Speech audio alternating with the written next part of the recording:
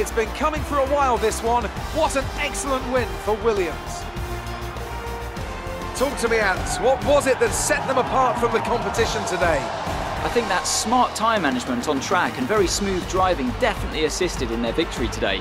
That combination meant they got the absolute... Williams have put in an incredible performance out on the track today. I'm glad all the hard work of theirs has finally paid off.